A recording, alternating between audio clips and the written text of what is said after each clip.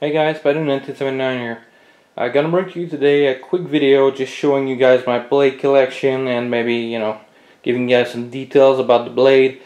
Uh, I don't know if you guys can tell on your big screen because in my uh, small viewfinder uh, it's a little bit harder to tell even though I, I know because, you know, these are my blades. So, uh, But there's some blades you get twins in there so you get two of the same blades. So when I really like a blade and if I get a good deal on it, like the Kershaw Campman. If I were in the States, I would buy um, I would buy two of these Kershaw Camps, man. Two more, I mean. So I got three total because as of now, it is one of my favorite blades.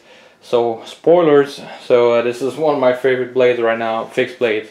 So I included the Tomahawk in the, this fixed blade video because it's kind of a fixed blade. So uh, I'm gonna start from the top and going down the uh, just the, the field. So uh, gonna tell you guys a little bit about the knives. Uh, this is the M-Tech MT096. Uh, uh, you know, small little blade, at, well, small 8 inches, so nice size blade. I think I paid 14 or 15 dollars for it on Amazon. I think it was one of the last ones in stock. I think they were liquidating their inventory. I don't know why, because where else are you gonna get a 15 16 dollar blades? So I just ordered another one. It's similar to the to the M-Tech, but it's not that model. It's a different model with a drop point. Uh, exact same blade design, uh, same handle, same guard, same coating on it. So uh, instead of being M-Tech, it's a SCO Supply. But I, I'm sure it comes from the same factory. It's got the exact same blade, the exact same material, the exact same coating on it from what I saw in the picture. So it's going to be the exact same and I'm going to show it to you guys and I'm going to do a small comparison when I receive it. Uh, it's going to arrive tomorrow by the way so it might be another video tomorrow. So um, really nice blade. I'm going to show you guys something alright. This is something I'm seeing on YouTube and it's just annoying the hell out of me every time there is a uh, you know a sharpening video or a blade video or whatever you always see the people doing slices man with the paper this is so freaking annoying when you do want to do a, a cut test, you just do a push cut. Please do a push cut, man. This is a real testament to the blade if the blade is sharp. So you just push it, push it, and you just move down the blade. You just move down the blade, so push cut every time. So just moving down the blade. So this is what you need to do to uh, do a real cut test to see if the blade is sharp or not. So um, just gonna take that out of the way without cutting myself, hopefully. So um, this is my M-Tech, a really nice blade for the money. If you don't have a lot of money, you want a good fixed blade, uh, this one is the way to go. Uh, another one that's not a lot of money and it's a good fixed blade is the Condor Kumanga, which uh, as of now, between the Kumanga and the SOG Jungle Canopy, uh, the SOG is taking number one spot for the 10 inch blade. So I just really love that one. If you guys saw my batoning video between the I know, I know the angle wasn't the, the best one because of the camera. I had the flip. I couldn't see the viewfinder, so I don't have the best uh, batoning angles. And you guys can't see the swing fully, but a uh, really good blade for the money, the SOG. But the Kumanga is equally as good, and uh, you know, I think it's as strong, or if not stronger, than the Canopy. Actually, I think they might be uh, equally strong, you know, so the 8Cr13MoV versus uh, 1075 it's your preference but this one I beat the hell out of it and it still does a really excellent job so um, just gonna show you guys sharpness uh, doing a push cut so uh, this is after I worked on with my Work Sharp a little bit so tip of the blade. Oops take it fresh you have to go at an angle so to, to cut the paper so so tip of the blade a little bit of work needs to be done there going down the line So as you guys can see, you have to do push cut. So push it, push it. So push cut. So the tip of the blade, well, depends where, but I still need to do a little bit of cleanup on there with a work sharp. So just a little bit of cleanup. So I'll put that back here. I'm going to try to go a little bit faster for the rest of the blade. So um, now let's go with the SOG Jungle. So this one I did kind of, quite a lot of work and after I've done, uh, you know, batoning and doing videos with it. I resharpened this puppy up uh, really good. So as you guys can tell, I'm going to do a little push cut tip of the blade. So a little bit further down the blade. a little bit further down the blade, further down the blade, further down the blade, further down the blade. So as you guys can see, this thing is sharp. And once i am done with it, because from the factory, this thing did not come sharp. But once I sharpen it with a work sharp, this thing is, you know, a beast. I mean, to, to tell you guys the truth, you buy the two of these, the Kumanga and the um, SOG Jungle, and you guys are to just see the difference immediately. I mean, this thing is to be way better to chop, better to baton, just better in general. So the grip is just a little bit more comfortable. Uh, maybe a couple of hot spots on the grip, but you know, you can get some hot spots on the, uh, on the Condor as well. So just gonna move down the line. My Barong, this is the one I use versus my Kershaw Cam. The other one here is brand new, never used, so just gonna show you guys from the tip. Moving down the line.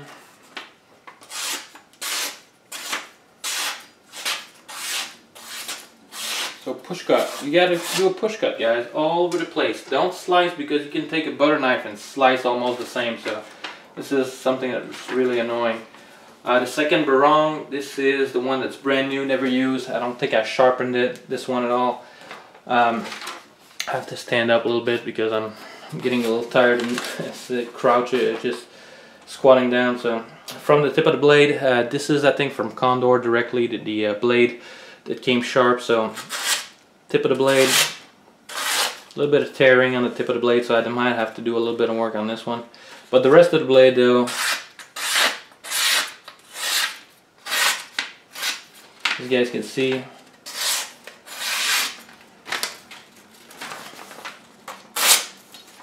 So whenever I want to get a fresh piece of paper, that's what I do right here. So, so as you guys can see, this thing is sharp. So um, right out of the box. So from Condor. So Condor usually puts out a quote. So, sometimes they get a little bit of issue on the blades, but nothing that just putting the 6000 grit uh, belt on the work sharp and just doing a little polish won't fix. So usually, so sometimes you have to work a little bit harder with it, but uh, so this is my favorite fixed blade right now, the Kershaw Camp 14, so uh, 1076. This thing is just, it's a beast. I mean, for chopping, for slicing, for batoning, and this thing is just, it didn't let me down yet, so no damage on the edge. Uh, you know, I put it back on the work sharp after I'm done with it, so let's go from the tip of the blade. Let's go down the line. So a little bit of tear up, so I might, might have to do a little bit of work, you know, just putting the 6000 grit, just doing a little polish on the edge, which I might do after this uh, video, so. So push cut guys, when you're doing a cut test, please do a push cut. You know, this is so much simpler, and yeah, I get paper everywhere, so I'm gonna have to take, take the vacuum out after that and just vacuum a little bit, so. Kershaw 1076 camp my favorite of all, you know, knives right here. So I think it fills perfectly the role between a big blade and a machete. So it's just an in-between that's pretty good. So how much time I got in this video? Eight minutes? I'm gonna have to speed things up for the rest. So um, uh, Condor El Salvador machete in 420 HC. Uh, so this one I used up and I touched it up on the work sharp. So um, I keep this one in my car by the way, so in case I need a big blade to do some cutting. Tip of the blade,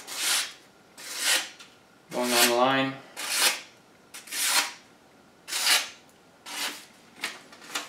So all the back of the blade. So as you guys can see, pretty sharp. Um, the other one is brand new. I don't think I touched up the edge on this one. Let's see if I get a fresh piece of paper here. So from the tip of the blade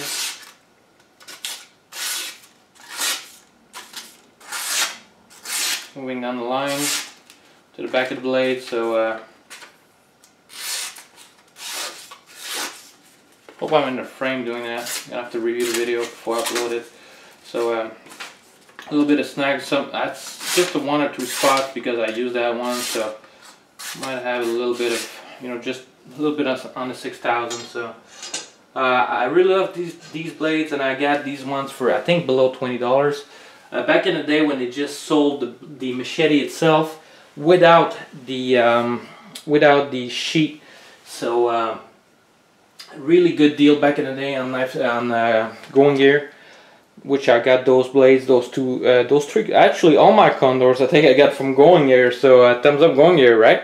Uh, the only thing is these two are 420 HC, and when I placed the order for uh, for these machetes, these El Salvador, um, the pri the I mean the blade that I received, are I ordered some 1075 and I received the 420 HC, which I didn't complain back in the day because you know the 420 HC is more expensive, so I didn't want to pay for shipping to return it and get a brand new one. So you know this isn't the the, the two that I ordered, and the first time I received the 420 HC, I said, all right, you know I'll place another order for another one because it's cheap. It was uh, 18 bucks I think.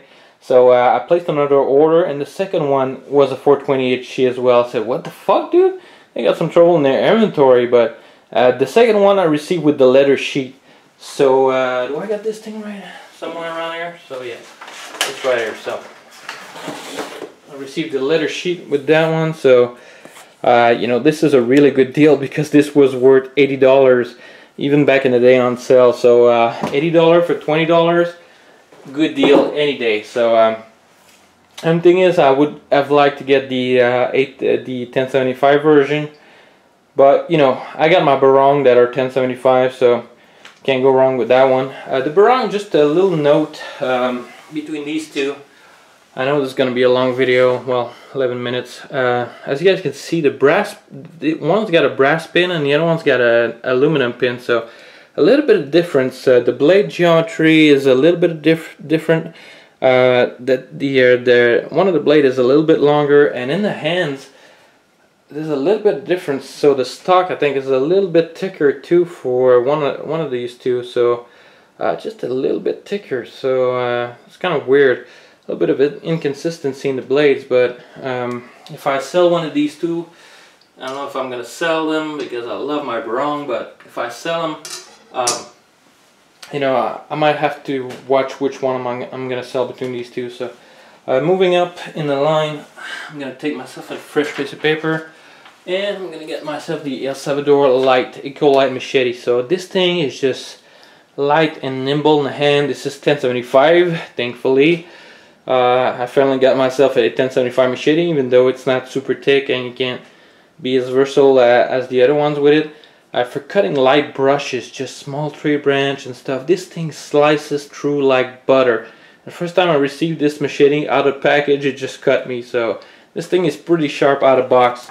So this is still out of box sharpness. I never touched it up. So look at this beginning of the blade, middle, going down the line, going down the line, down the line, down the line. As you guys can see, push cut guys. Push cut when you're doing a cut test please. Um, you know nice little machete uh, it's starting to get a little bit of rust I think on it. I'm gonna have to oil that blade up. But I never oiled that blade and I get a hum humidifier in my room so and I keep that in my room in one of my drawers so uh, not bad for 1075 I might have to do a little uh, bit of spray detailer like I did on my SOG Jungle Canopy on the blade so next one is going to be the Shindy Machete which is something that you can find everywhere under different name, different brands. Uh, just your basic style of katana, ninja style machete, or you know, sword, whatever. So I did bend that one up, but I did straighten it back up pretty good. I don't know if you guys can tell, but it's got a little bit of bend in it. So, but I did fix it up quite nicely. So, I don't know if you guys can tell that. Anyways, uh, let's see for sharpness. I did use that and I didn't resharpen it, but uh, the first edge that comes with it is scrap. So this is, um, you know, with my work charted, I did some work on it, not a whole lot of it. So as you guys can see a little bit of tearing there, so that's not good. Going down the blade. Now this is where I chopped the most with it, so I never, you know, touched it up afterwards. So this is where I actually sharpen with the work sharp. Try to go up one more time on the blade.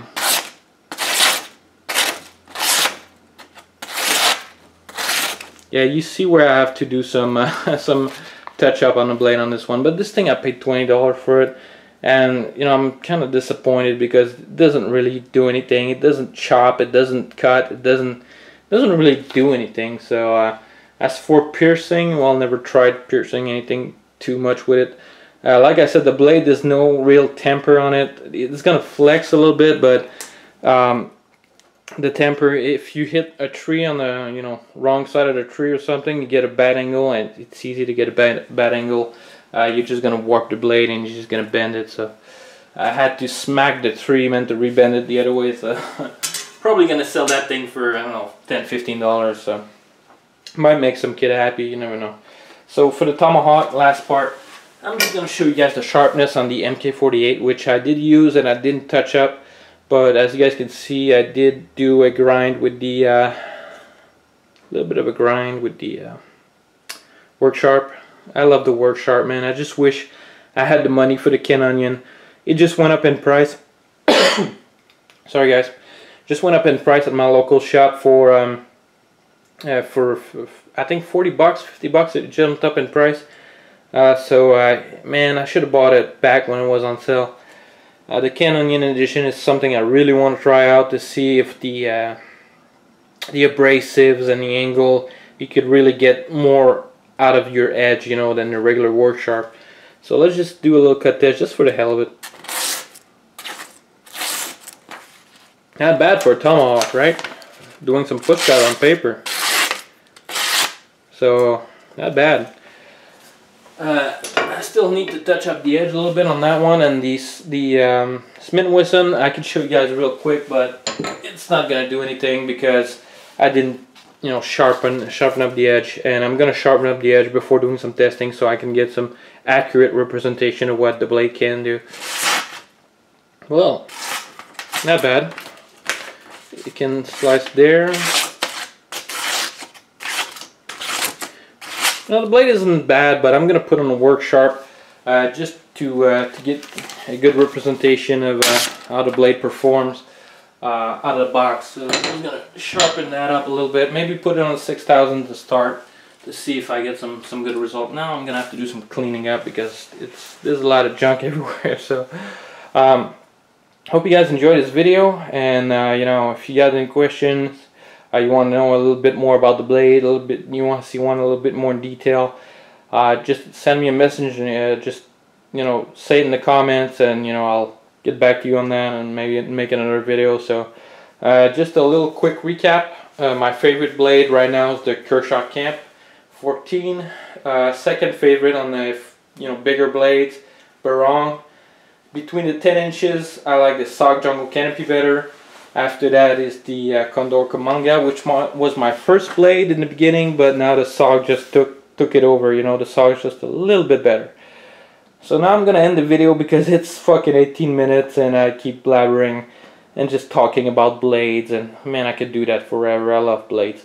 So this is my collection for now and I got some more coming in the future. Another folder, another fixed blade from you know an M-Tech clone. So hope you guys enjoyed this uh, you know little uh, information video slash blade porn which I like to call it so uh, hope you guys enjoyed that and I'll see you guys on the next one